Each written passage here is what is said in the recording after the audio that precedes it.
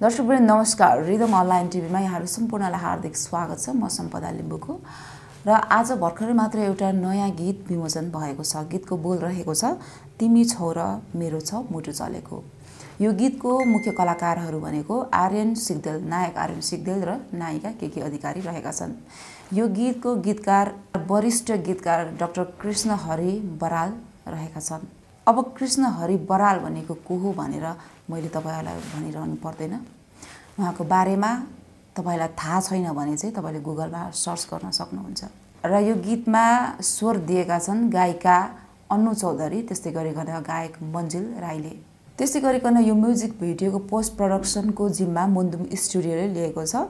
जहाँको सञ्चालक चाहिँ आफै सङ्गीतकार अनि गीतकार बादल लिम्बू हुन्। त्यस्तै गरिकन आजको यो कार्यक्रममा अतिथिहरूमा हुनुहुन्थ्यो डाक्टर कृष्ण कृष्ण हरि बराल त्यस्तै गरिकन वरिष्ठ सङ्गीतकार महेश बस्ने त्यस्तै गरिकन पहिलो नेपाली तारा र वरिष्ठ गायक दीपक लिम्बू रहेका थिए। अब यो कार्यक्रम आजको विमोचन कार्यक्रमलाई हेर्ने हो भने निकै भव्यताका साथ सम्पन्न पनि गरिएको थियो। पत्रकारहरूको जमात पनि निकै ठुलो थियो। धेरै पत्रकारहरू पनि उपस्थिति रहेका थिए। दर्शकहरू पनि दर्शकहरूको पनि राम्रै उपस्थिति रहेको थियो। एक हिसाबले भनौँ आजको विमोचन कार्यक्रमलाई पनि सरसर्ती हेर्दाखेरि चाहिँ निकै खर्च गरेर नै आजको आजको चाहिँ विमोचन कार्यक्रम सम्पन्न गरिएको भानुहुन्थ्यो। अब कार्यक्रम सुरु भयो सबैजना अतिथिहरू पनि आउनुभयो गायिका अनु चौधरीको पनि उपस्थिति रहेको थियो। अब गायक मन्जुल राई चाहिँ विदेशमै बस्ने भएकोले गर्दाखेरि उपस्थिति हुन सक्ने कुरै भएन। त्यही भएर गायिका अनु चौधरी मात्र उपस्थिति रहेको देखियो। अब यसमा मुख्य एउटा हुन्छ नि कार्यक्रमको पनि एउटा मुख्य आकर्षण हुन्छ होइन? र अझ अब पर्दा पछाडि काम गर्नेहरूको महत्त्व त अति नै छ तर पनि बढी दर्शकले छिटो चिन्ने र छिटो आकर्षित भइहाल्ने भनेको कलाकारहरूतिर अथवा गायक गायिकाहरूतिर नै हुन्छ। आजको मुख्य आकर्षण कलाकारहरू नायक आर्यन सिग्देल र नायिका के के अधिकारीको भने उपस्थिति थिएन। र मुख्य कलाकारहरू नै उपस्थिति नभइसके पछाडि आजको माहौल अलिकति भनेको जस्तो नभएको हो कि सबैमा एउटा नैराश्यता छाएको हो कि जस्तो पनि भानुहुन्थ्यो। गीत विमोचन गर्ने तर पनि मुख्य कलाकारहरू मुख्य गायक गायिकाहरू नै उपस्थिति नहुने एउटा परिपाटी चाहिँ बढ्दै गइरहेको देखिन्छ। अब आयोजकहरूले अथवा प्रडक्सन टिमले कति धेरै खर्च गरेर चाहिँ एउटा म्युजिक म्युजिक भिडियो बनाउँछ। तर विमोचन कार्यक्रम गर्नु नै भनेको उक्त गीतलाई प्रचार प्रसार गरेर धेरैभन्दा धेरै दर्शकहरूमा पुर्याउने उद्देश्य हो। र धेरै खर्च पनि हुन्छ विमोचन कार्यक्रममा। तर आज मुख्य कलाकारहरू नआइसके पछाडि प्रडक्सन टिमले पनि भनेको जस्तो प्रचार प्रसार गर्न सकेनन् कि अथवा नसक्ला कि भन्ने कुरा पनि आउँछ। र यो गीत यतिखेर चाहिँ मन्जल राईको युट्युब च्यानलबाट आउट पनि भइसकेको छ र गीतलाई हेर्ने हो भने गीत पनि निकै खर्च गरेर महँगो खर्च गरेर नै बनाइएको भान हुन्छ। तपाईँहरूले पनि हेर्न सक्नुहुन्छ। तर कलाकारहरू नआइसके पछाडि प्रचार प्रसारमा पक्कै पनि कमी नै भइ नै हाल्छ त्यसले गर्दाखेरि जति दर्शकहरू माझ पुग्नुपर्ने हो उक्त म्युजिक भिडियो त्यति पुग्दैन। यो कुरा शत प्रतिशत सत्य पनि हो। अब यो खालको परिपाटी चलिरहँदाखेरि घाटा भनेको आयोजकलाई अथवा प्रडक्सन टिमलाई मात्र हुँदैन होला। यो घाटा चाहिँ कलाकारहरूलाई पनि हुन्छ होला गायक गायिकाहरूलाई पनि हुन्छ होला। तर अब अहिलेको यो परिपाटी किन यस्तो तरिकाले अगाडि बढिरहेछ? अब त्यो एउटा शोचनीय विषय हो। किनभने एउटा भिडियो एउटा म्युजिक भिडियो निर्माण गर्दाखेरि प्रडक्सन टिमलाई जुन खालको उत्साह हुन्छ र त्यो दर्शकले त्यो म्युजिक भिडियोलाई दर्शकले हेरिदिएन भने त्यो उत्साहहरू बिस्तारै त्यो निराशामा परिणत हुँदै जान्छ जसले गर्दाखेरि म्युजिक भिडियोहरू पनि धेरै नबन्लान् अब घाटा भनेको त फेरि कलाकारहरूलाई नै हुने हो गायक गायिकाहरूलाई नै हुने हो। तसर्थ यस्तो कुराहरूमा चाहिँ एउटा चाहिँ समझदारीको पाटोबाट गएर चाहिँ विमोचनको कार्यक्रममा चाहिँ कलाकारहरू गायक गायिकाहरू सबैजना उपस्थिति भइदियो भने पक्कै पनि प्रचार प्रसारमा चाहिँ धेरै नै सघाउ पुग्छ। तर अहिले भनि मैले भनिहालेँ यो परिपाटी चलिरहेको छ। अब यो आयोजकले नै कलाकारहरू ल्याउन नसकेको हो कि आयोजक नै कमी कमजोरी हो कि अथवा कलाकारहरू व्यस्त भएरै हो कि अब यो भनेको चाहिँ उनीहरूको टिमलाई नै थाहा होला उनीहरूलाई पनि थाहा होला। तर झट्टै बाहिरबाट हेर्ने हो भने यो खालको एउटा चाहिँ विमोचन कार्यक्रमले आयोजकलाई नै घाटा हुन्छ गायक गायिकालाई नै घाटा हुन्छ र कलाकारलाई नै घाटा हुन्छ। आज चाहिँ कलाकारहरू कार्यक्रममा उपस्थिति भइदिएको भए सुनमा सुगन्ध नै थपिन्थ्यो। तर अब किन आउन सकेनन्? त्यो भनेको त अब उहाँहरूको पर्सनल कुरा हो। तर पनि त्यत्रो धेरै समय दिएर लाखौँ खर्च गरेर एउटा म्युजिक भिडियो बनाइन्छ र एक घन्टा दुई घन्टा टाइम किन निकाल्न सकिँदैन? के को लागि सकिँदैन भन्ने कुरा पनि सोच्नुपर्छ। यो कुरा बुझिदिनु पऱ्यो प्रडक्सन टिमको दुःख पनि बुझिदिनु पऱ्यो कलाकारको दुःख छ भने त्यो पनि बुझिदिनु पऱ्यो कसरी अगाडि बढ्न सकिन्छ त एउटा समझदारीमा चाहिँ सबैको समय मिलेर सायद आजको भिडियो विमोचन गरेको भए धेरैभन्दा धेरै दर्शकमा चाहिँ यो गीत पक्कै पनि पुग्थ्यो। अन्तमा हामीले कसैलाई आरोप प्रत्यारोप गर्न खोजेको होइन र कलाकारहरूलाई पनि हेपा प्रवृत्ति देखाएको अथवा घमण्ड गरेको भन्न खोजेको पनि होइन। तर यस्तो तरिकाले अथवा आजको जस्तो कार्यक्रम होइन अब अथवा कलाकारहरू नै उपस्थिति भइदिएन भने पक्कै पनि प्रचार प्रसारमा कमी आउँछ नै तसर्थ अबको आउँदो दिनमा चाहिँ समझदारीमा गएर सबैले चाहिँ उपस्थिति भएर यस्तो खालको म्युजिक भिडियोहरू चाहिँ विमोचन गर्नुहुन्छ भने सबैजनालाई फाइदा नै हुन्छ हाम्रो भन्नु यति नै हो धन्यवाद। तिमी छौरा मेरो छमोटो चलेको। अध्यारो यो मनमा छबाते बलेको। तिमी छोरा मेरो छमोटो चलेको।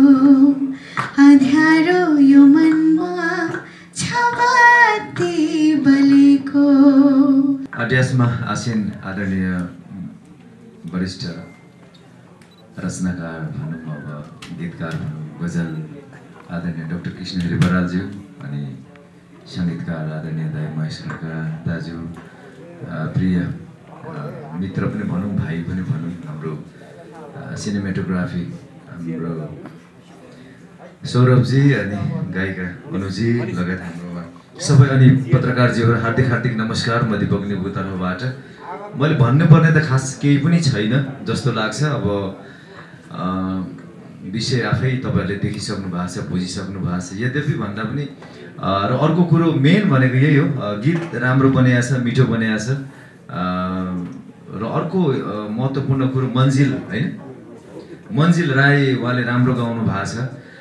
अर्को महत्त्वपूर्ण कुरो भनेको फेरि पनि विदेशमा रहेर पनि हाम्रो एउटा नेपाली कला गीत सङ्गीतको लागि उहाँले काहीँ न काहीँ यस्ता किसिमका कामहरूले काहीँ न काहीँ टेवा पुर्याउनु भएको छ सेवा गरिराख्नु भएको छ त्यो चाहिँ एकदमै खुसी लाग्यो। उहाँ लगायत सम्पूर्ण टिमलाई पनि धेरै धेरै बधाई दिन चाहन्छु। गीत मिठो बनाएको छ भोलि भ्युज कति जाला कति नजाला त्यो सेकेन्डरी कुरा भयो तर मेन कुरा भनेको एउटा सृजना भोलि एउटा दस्तावेज बनेर रहन्छ एउटा कृति बनेर रहन्छ त्यसको लागि उहाँहरू सम्पूर्णलाई फेरि पनि हार्दिक हार्दिक बधाई अनि शुभकामना। यरिक यरिक नगेन। धन्यवाद। थ्याङ्क यू सो मच सबैजनालाई र नमस्ते सबैजनालाई। फेरि पनि म चाहिँ खास म रेकर्डिङमा आएको थिएँ अनि बादल दादाले पहिल्यै भन्नुभएको थियो मलाई एकछिन आउनु भनेर हुन्छ भनेर आएको। अनि यति धेरैजना आउनुभएको मिडियाहरू मिडियाकर्मीहरू सबैजनालाई थ्याङ्क यू सो मच र फेरि पनि आज विशेष गरी चाहिँ हाम्रो एकदमै मिठो गीत तिमी छोरा के अरे बिर्सेँ है एकछिन। तिमी छोरा मेरो मुटु चलेको।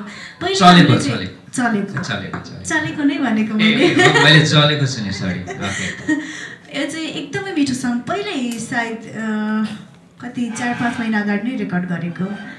एकदमै मिठो कम्पोज एकदमै मिठो हाम्रो शब्दमा रहेको गीत अनि एकदमै मिठो गीत आज भर्खर सबैजना आउनु भएको छ। के भन्ने मैले थाहै छ सबैजनालाई।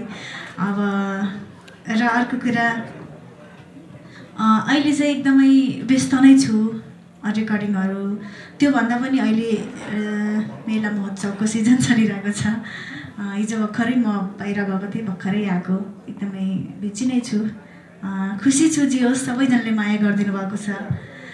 र विशेष गरी आज चाहिँ हामीले देखिराख्नु भएको छ हाम्रो गीत आज आउट हुँदैछ।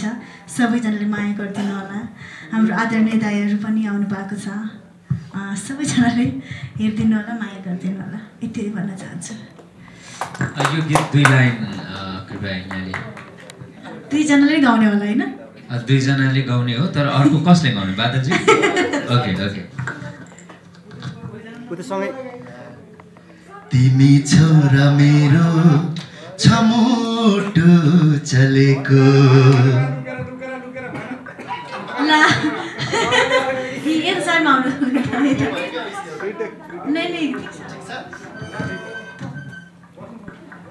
तिमी छौरा मेरो छमुटो चलेको।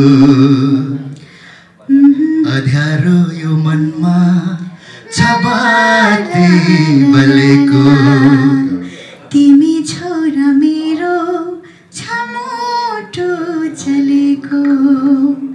अध्यारो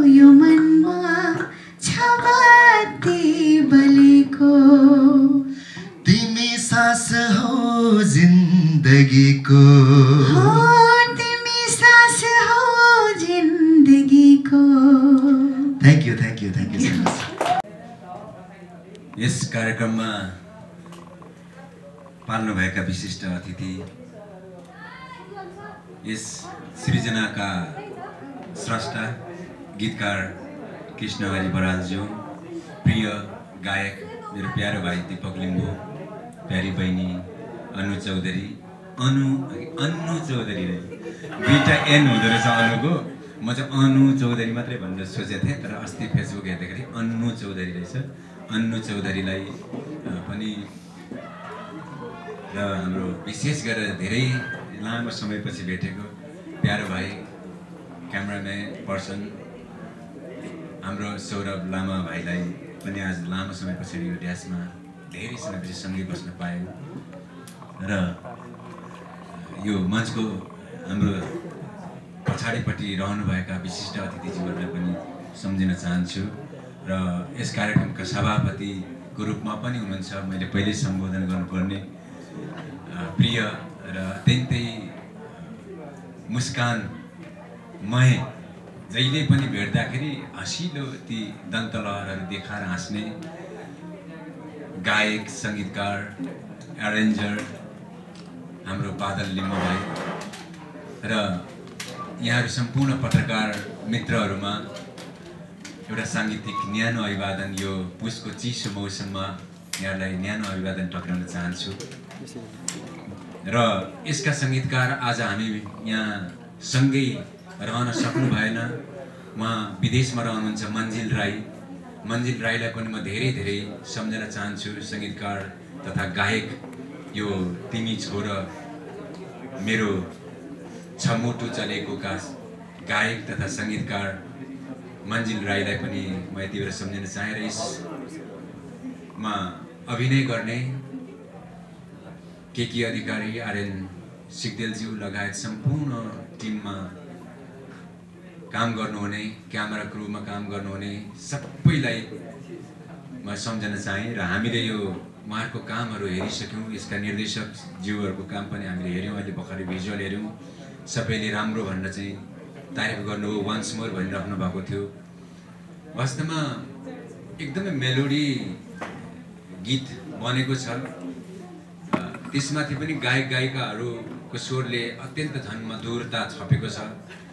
गायक दिपक लिम्बूले मलाई मेरो साङ्गीतिक क्यारियरमा दुईजना सिङ्गरहरूलाई चाहिँ उसले चाहिँ मलाई रिफर गरेको एउटा अन्जु पन्त थिइन्। एकदमै धेरै राम्रो स्वरको धनी हुनुहुन्छ अन्जु पन्त। उहाँको स्वर मैले सुनेको छु दाई उहाँलाई गीत गाउन लगाउनुहोस् न भन्नुभएको थियो कुनै दिन। र आज त्यसपछि मलाई अर्को रिफर गरेको अन्नु चौधरी। दिपक लिम्बूले एकदम धेरै राम्रो स्वरको धनी अर्को गायिका अन्नु चौधरी हुनुहुन्छ। उहाँको स्वर तपाईँले सुन्नुभएको छ। यदि सुन्नुभएको छैन भने उहाँलाई सुनेर एकचोटि उहाँको स्वरलाई पनि प्रयोग गर्ने कि भनेर दिपक भाइले मलाई सिङ्गरको केही परिचय दिनुभएको थियो र अनु अनु बहिनीसँग मैले दुई तिनवटा कामहरू गर्ने मौका पाएको छु। भोलि एउटा हामी चलचित्र पर्खी बसे तिमीलाईको रिलिजको सङ्घारमा छौँ भोलि यहाँहरूलाई फेरि हामी त्यहाँ पनि भेट्ने नै छौँ। तर आज तिमी छोराको म छु भन्ने जुन गीत छ डक्टर कृष्णहरी बराल सरले लेखेको यो गीतमा म मलाई दिपक लिम्बुको फर्स्ट डेब्यु चलचित्र मैले त्यही भएर मन पराएको भन्ने गीत जसरी बनेको थियो संयोगले यो गीत पनि त्यसरी बनेको पछि एकदम आनन्द पनि भएँ। गीतकार डाक्टर कृष्णहरी बरालज्यू मात्रै होइन निर्देशक निर्माताहरूले पनि त्यसमा आनन्द लिनुभयो। यो गीत मैले मात्र गुनगुनाएर पठाएको ट्युनभित्र डाक्टर कृष्णहरी बरालले यसमा सम्पूर्ण शब्दहरू भरिदिएर त्यसपछि हामीले यसलाई रेकर्डिङको र एरेन्जको क्रममा लिएर गएर रेकर्डिङ गरेका थियौँ। र त्यही गीत चाहिँ एकदम धेरै लोकप्रिय पनि भएको थियो। त्यस्तै मन्जिल राईको यो ट्युनभित्र डाक्टर कृष्णहरी बरालज्यूले ट्युनमा चाहिँ शब्द लेख्नु भएको रहेछ।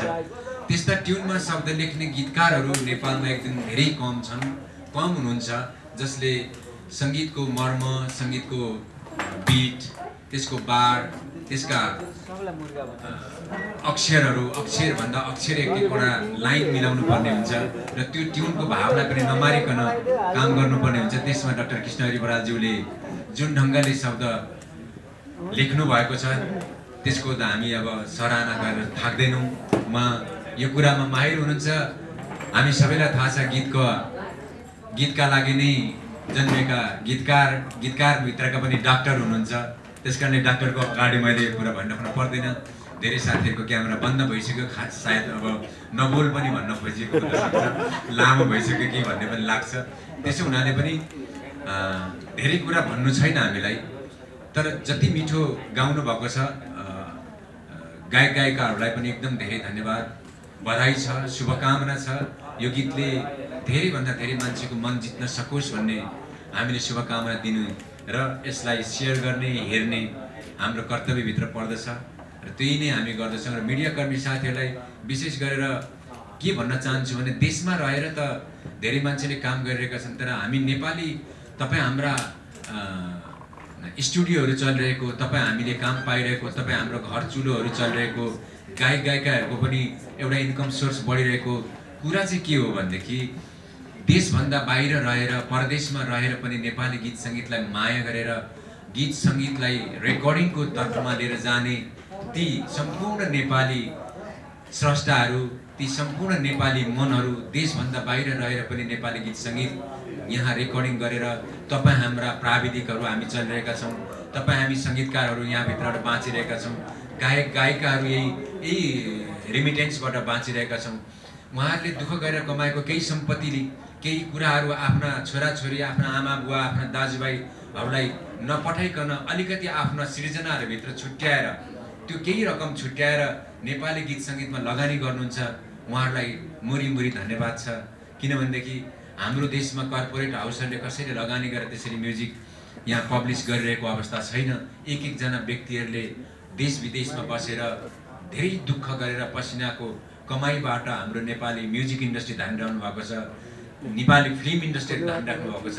त्यो कुरालाई पनि हामीले मनन गर्दै उहाँहरूको यो कार्यलाई विशेष रूपमा प्रोत्साहन गर्नुपर्छ अनि मात्रै हामी नेपाली म्युजिक सङ्गीत क्षेत्रभित्र चाहिँ बाँच्न सक्छौँ। एकले अर्कालाई होस्टेरमा हैसे गऱ्यो भने मात्रै नेपाली गीत सङ्गीत बाँच्दछ र नेपाली कलाकारहरू बाँच्दछन् भन्ने हामीलाई लाग्दछ र त्यो लगानीकर्ता त्यो देश विदेशमा रहेर नेपाली म्युजिकलाई माया गर्ने व्यक्तित्वलाई पनि सम्पूर्ण व्यक्तित्व यो गीतका गीत सङ्गीतकार गायकलाई मात्रै होइन सम्पूर्ण नेपाली ती सर्जक स्रष्टाहरू ती नेपाली गीत सङ्गीतलाई माया गर्ने ती मनहरूलाई सलाम गर्दै यो गीतको भव्य सफलताको शुभकामना व्यक्त गर्दै मेरा केही शब्दहरू यही अन्त्य गर्दछु। धन्यवाद। नमस्कार। अब यो मेरो चाहिँ उठेरै बोल्ने बानी धेरै हो कि।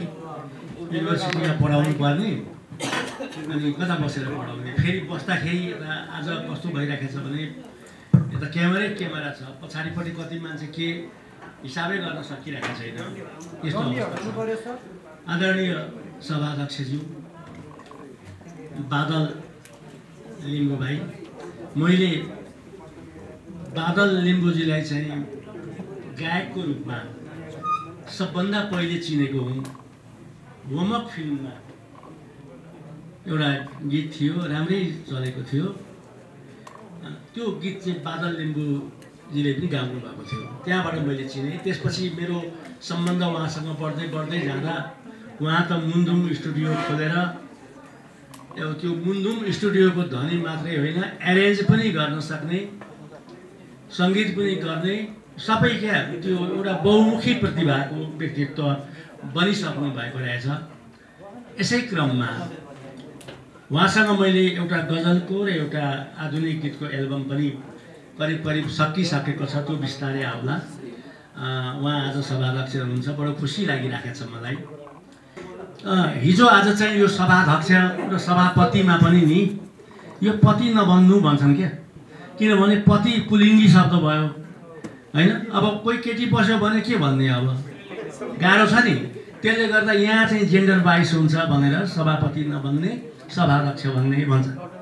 त्यस्तै चेयरम्यान नभन्ने चेयरपर्सन भन्ने भने फेरि पर्सनमा पनि पछाडि सन परेछ। अनि पुरुषले बनाएको भाषा हामी युज गर्दैनौँ भन्ने फेमिनिस्टहरू छन् धेरै होइन? त्यस्तो अवस्था छ। अनि मैले सभाध्यक्ष भने बादल भाइलाई उहाँ एउटा राम्रो गायक राम्रो सङ्गीतकार राम्रो एरेन्जर राम्रो रेकर्डिस्ट उहाँ बहुमुखी प्रतिभा हुनुहुन्छ भनिहालेँ यस्तै मञ्चमा आसीन विशिष्ट व्यक्तित्वहरू देख्दैछु। यही व्यक्तित्वहरूमा पनि महेशजी आजको प्रमुख अतिथि हुनुहुन्छ। दिपक लिम्बू विशिष्ट अतिथि हुनुहुन्छ। हामी तिनजनाको कामहरू चाहिँ धेरै नै भए धेरै चलचित्रहरूमा हामीले काम गऱ्यौँ र गरि पनि रहेका छौँ। होइन त्यस अर्थले पनि आज बेग्लै किसिमको आनन्द यहाँ उभिँदा अनुभव भयो। त्यस्तै अब अन्य यो क्यामेरासँग होइन मिक्सिङसँग सम्बन्धित व्यक्तित्वहरू पनि हुनुहुन्छ। अब यो सम्बन्धित कुरा हेर्दा मलाई के लाग्यो भने म चाहिँ आज यहाँ उभिएको चाहिँ आजको गीतको बारेमा बोल्न हो। यो आजको जुन गीत छ यो चाहिँ प्रेम गीत हो। प्रेमसँग सम्बन्धित छ तर प्रेममा पनि अश्लीलता आउनु हुँदैन भन्ने मान्यता हामी राख्छौँ। हिजो आज सेन्सरसिपका कुराहरू छन्। हिजो आज गीत आएपछि फलानालाई पुलिसले लिएर गयो रे भन्ने हल्ला भन्ने जमाना छ। त्यस्तो अवस्थामा हामीले लिरिक्समा जोगिनु धेरै नै आवश्यक छ र यसलाई प्रेमलाई शिष्टतातिर लिएर जानु सौन्दर्यतिर लिएर जानु बिछोड हुनेतिर लिएर नजानु पनि उत्तिकै आवश्यक छ भन्ने मलाई लाग्छ र मैले त्यही किसिमको प्रयोग मैले गरेको छु। यो प्रेम महत्त्वपूर्ण छ जीवन्त छ। तिमी मेरो बानी जस्तै सुन्दर छौ। वास्तवमा मान्छेले धेरै सुधारे पनि आफ्नो बानी हतपत सुधार्दैन। त्यो बानी जस्तै प्रिय छौ। त्यो पनि मिठो बानी जस्तो खराब बानी जस्तो होइन। त्यसको लागि विशेषण मिलाइएको छ। र तिमी मसँग साथमा भएको हुनाले म मुस्किलमा पर्दिनँ भनेर यहाँ भनिएको छ। एउटा प्रेमी र एउटा प्रेमिकाको बिचको कुराकानी छ संवादात्मक प्रस्तुति छ। यो गीतको शब्दको कुरा भयो।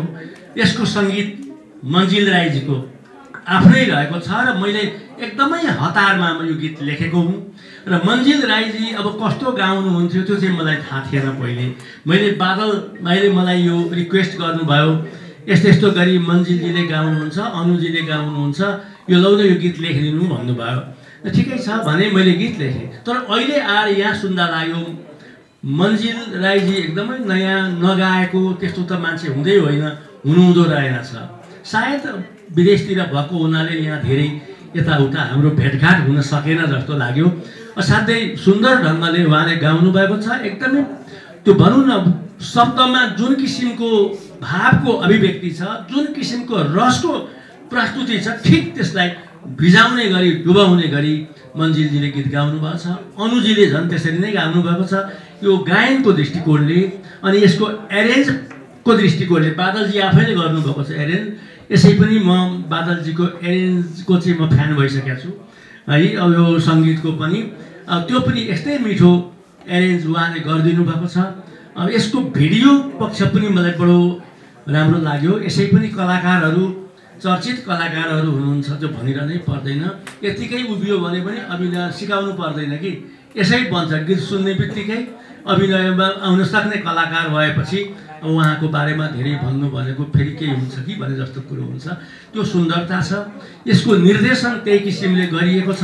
एउटा कुरा चाहिँ मलाई ठ्याक्क हेर्ने बित्तिकै भन्न मन लाग्यो। त्यो सुगा चरा राखेको छ नि पिजडामा। यी पशु पन्छीविदहरूले यो थुनेको कुरो चाहिँ किन हो भन्लान् कि? यो कता कता ठस्स लागिहाल्यो नि? यो त बन्दी छ तिनीहरू त। हामी चाहिँ स्वतन्त्रता खोल्ने चरालाई चाहिँ थुन्ने भनेर जस्तो नि। तर यो संस्कृति छ हामी मैना पाल्छौँ सुगा पाल्छौँ हाम्रो सामाजिकता छ। हाम्रो सामाजिकताले त्यसको जवाफ दिनको लागि ठाउँ चाहिँ राखेको छ। तर पनि कता कता त्यो लागेको कुरा मैले भनिहालेँ। अनेक दृष्टिकोणले अनेक किसिमले गीत चाहिँ महत्त्वपूर्ण बनेको र फिल्मी बनेको। चलचित्रको गीत जस्तो बनेको चाहिँ अनुभव मैले चाहिँ आज गरेको छु। यो यस्तो भव्य कार्यक्रममा यहाँहरूको यस्तो उपस्थितिमा यो गीत आज आएको छ र यसले आफ्नो भनौँ न व्यावसायिक कुरा भन्दाखेरि बजार लिएला या हिट होला या भ्यू पाउला त्यो के होला यो त भविष्यको कुरा हो। हामीले भ्यू या कुनै बजार भन्दा पनि त्यो एक प्रकारको सङ्गीत सङ्गीतको लागि गीत गीतको लागि त्यो कला कलाको लागि भन्ने एउटा कुरा छ। त्योतिर पनि ध्यान दिनुपर्छ जस्तो लाग्छ। तर त्यो भन्दा भन्दै समाजलाई पनि थोरै अलिकति सचेतता दिन सक्यो र शिष्टतातिर डोर्याउन सक्यो भने त्यो क्रिएसन त्यो कला अझ राम्रो हुन्छ भन्ने मान्यता पनि छ। यस अर्थमा यो सबै दृष्टिकोणले यो गीतले आफ्नो भनौँ न व्यावसायिकता पनि पुरा गरोस्।